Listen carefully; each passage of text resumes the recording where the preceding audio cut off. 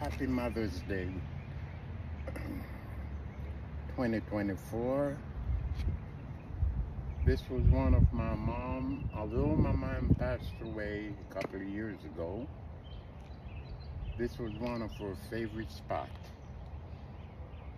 Enjoy sitting out here on a sunny, warm, sunny afternoon, sunny afternoon among these young trees. They're not that old, they're quite, quite young, but they're growing up.